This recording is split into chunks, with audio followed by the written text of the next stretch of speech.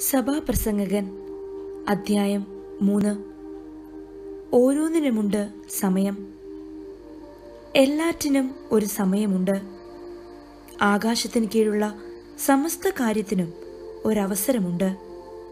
ജനിക്കാൻ ഒരു കാലം മരിക്കാൻ ഒരു കാലം നടാൻ ഒരു കാലം നട്ടത് പറിക്കാൻ ഒരു കാലം കൊല്ലാൻ ഒരു കാലം സൗഖ്യമാക്കാൻ ഒരു കാലം തകർക്കാൻ ഒരു കാലം പണിതുയർത്താൻ ഒരു കാലം കരയാൻ ഒരു കാലം ചിരിക്കാൻ ഒരു കാലം വിലപിക്കാൻ ഒരു കാലം നൃത്തം ചെയ്യാൻ ഒരു കാലം കല്ലുപെറുക്കി കളയാൻ ഒരു കാലം കല്ലുപെറുക്കി കൂട്ടാൻ ഒരു കാലം ആലിംഗനം ചെയ്യാൻ ഒരു കാലം ആലിംഗനം ചെയ്യാതിരിക്കാൻ ഒരു കാലം സമ്പാദിക്കാൻ ഒരു കാലം നഷ്ടപ്പെടുത്താൻ ഒരു കാലം സൂക്ഷിച്ചു വയ്ക്കാൻ ഒരു കാലം എറിഞ്ഞു കളയാൻ ഒരു കാലം കീറാൻ ഒരു കാലം തുന്നാൻ ഒരു കാലം മൗനം പാലിക്കാൻ ഒരു കാലം സംസാരിക്കാൻ ഒരു കാലം സ്നേഹിക്കാൻ ഒരു കാലം ദ്വേഷിക്കാൻ ഒരു കാലം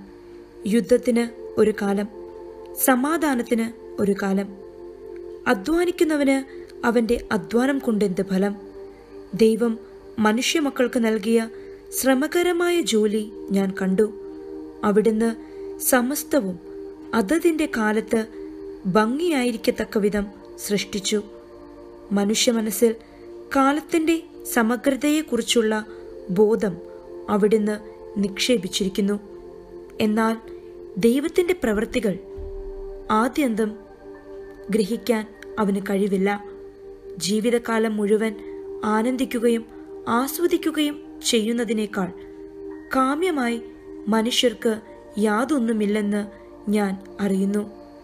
എല്ലാ മനുഷ്യരും ഭക്ഷിക്കുകയും പാനം ചെയ്യുകയും അധ്വാനഫലം ആസ്വദിക്കുകയും ചെയ്യുകയെന്നത് ദൈവത്തിന്റെ ദാനമാണെന്നും ഞാൻ അറിയുന്നു. ദൈവത്തിന്റെ പ്രവൃത്തികളെല്ലാം ശാശ്വതമാണെന്ന് ഞാൻ അറിയുന്നു. അതിനോട് എന്തെങ്കിലും കൂട്ടാനോ അതിൽ നിന്ന് എന്തെങ്കിലും കുറയ്ക്കാനോ സാധ്യമല്ല. ദൈവം അപ്രകാരം ചെയ്തിരിക്കുന്നത് മനുഷ്യർ തന്നെ ഭയപ്പെടുന്നതിനാണ്. ഇന്നുള്ളത് പണ്ടേ ഉണ്ടായിരുന്നതാണ്. ഇനി ഉണ്ടാകാനിരിക്കുന്നത് ഉണ്ടായിരുന്നത് തന്നെ. കടന്നുപോയ ഓരോന്നിനെയും ദൈവം യഥാകാലം തിരിച്ചു കൊണ്ടുവരും.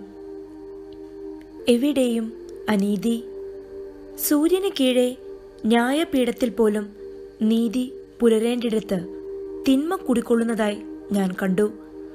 ഓരോ സംഗതിക്കും ഓരോ പ്രവൃത്തിക്കും ദൈവം സമയം നിശ്ചയിച്ചിരിക്കുന്നതുകൊണ്ട് അവിടുന്ന് നീതിമാനെയും ദുഷ്ടനെയും വിധിക്കുമെന്ന് ഞാൻ വിചാരിച്ചു. മനുഷ്യമക്കൾ വെറും മൃഗങ്ങളാണെന്ന് അവരെ കാണിക്കാൻ വേണ്ടി ദൈവം അവരെ പരീക്ഷിക്കുകയാണെന്ന് ഞാൻ കരുതി. എന്തെന്നാൽ മനുഷ്യമക്കളുടെയും മൃഗങ്ങളുടെയും ഗതി ഒന്നു തന്നെ. ഒന്ന് ചാകുന്നത് പോലെ മറ്റേതും ചാകുന്നു. എല്ലാറ്റിനും ഒരേ ശ്വാസമാണുള്ളത്. മനുഷ്യന് മൃഗത്തെക്കാൾ യാതൊരു മേന്മയുമില്ല. എല്ലാം മിഥ്യയാണ്. എല്ലാം ഒരിടത്തേക്ക് പോകുന്നു. എല്ലാം പൊടിയിൽ നിന്നുണ്ടായി. എല്ലാം പൊടിയിലേക്ക് മടങ്ങുന്നു. മനുഷ്യന്റെ പ്രാണൻ മേൽപോട്ടും മൃഗത്തിന്റെത് താഴെ മണ്ണിലേക്കും പോകുന്നുവോ? ആർക്കറിയാം. അതുകൊണ്ട് മനുഷ്യൻ തന്റെ പ്രവൃത്തി ആസ്വദിക്കുന്നതിനേക്കാൾ മെച്ചമായി ഒന്നുമില്ലെന്നും അതുതന്നെയാണ് അവന്റെ ഗതിയെന്നും ഞാൻ മനസ്സിലാക്കി. തനിക്കു ശേഷം സംഭവിക്കുന്നത് കാണാൻ അവനെ ആര് വീണ്ടും കൊണ്ടുവരും?